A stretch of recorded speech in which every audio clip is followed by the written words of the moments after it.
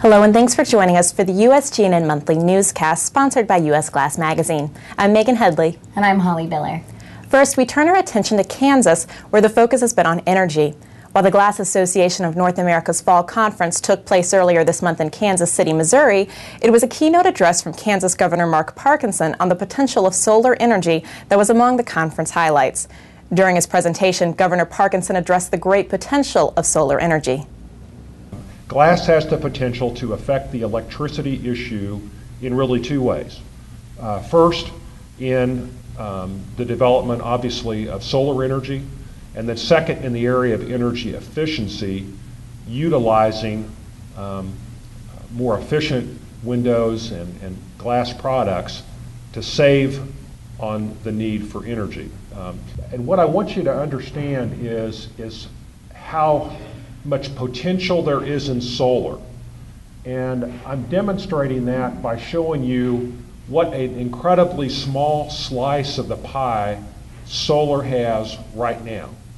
So, you know, whatever impact solar has had on your various companies, we haven't even begun to scratch the surface. I mean, it, it, it, the, the, amount of solar is so incredibly limited in this country right now um, that there is incredible opportunity.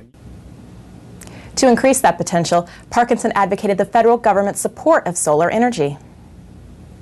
The point that I'm making is simply this that if, in fact, we're going to continue to, to advance our renewable sources of energy, whether it's wind or solar, we're going to need some help from the federal government.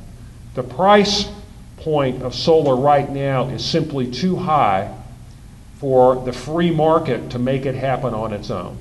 It needs a little bit of support. Following the governor, Guardian Glass Vice President Scott Thompson delved into more detail on the solar market's impact on the glass industry. 90% of the low iron glass historically produced in this business has been pattern. Okay? And that's mainly for the crystalline silicon.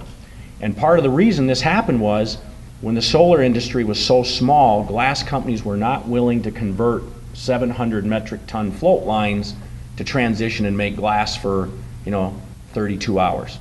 So basically, pattern lines typically 100, 120 metric tons, very cost effective to transition and make low iron. So what happened is the crystalline silicon therefore became dominated by pattern glass. Okay? So glass companies could convert architectural pattern lines to solar, which happened in Europe. To give you an idea, last year in Europe there was 15 pattern lines making low iron solar. This year there's seven because of the Spanish impact. So the growth of thin film PV and CSP will significantly increase the demand for low iron solar float.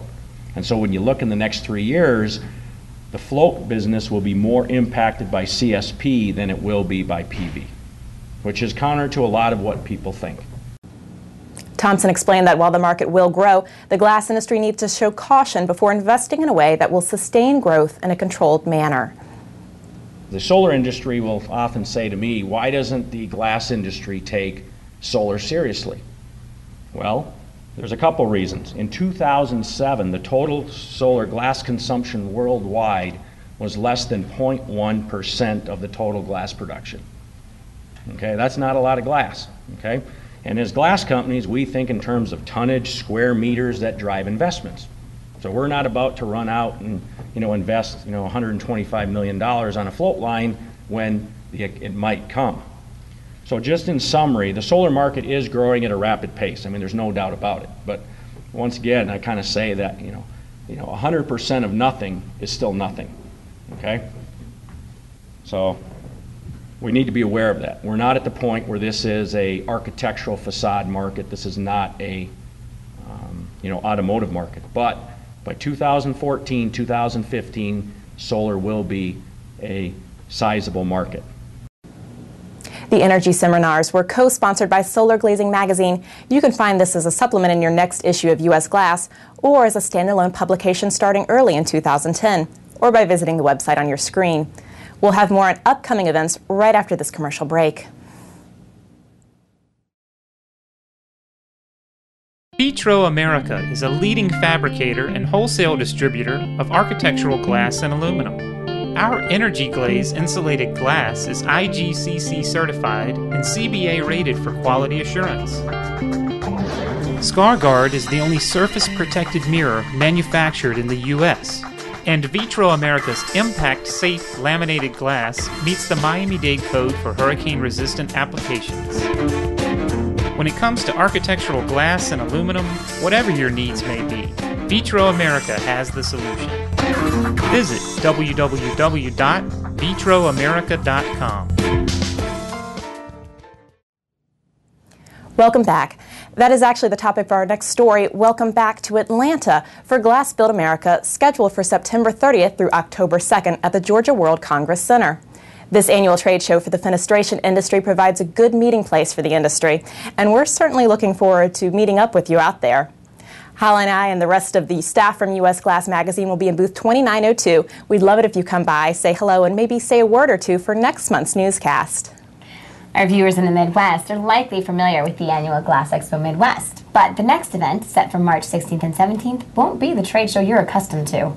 The 2010 event at the Renaissance Schaumburg Hotel Convention Center, located just outside of Chicago in Schaumburg, Illinois, has grown from a regional event to a national show with several new tracks and an expanded exhibit floor.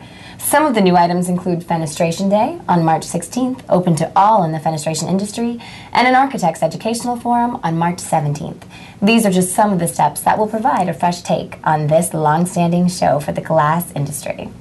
Visit www.glassexpomidwest.com to learn more about exhibiting or to register today.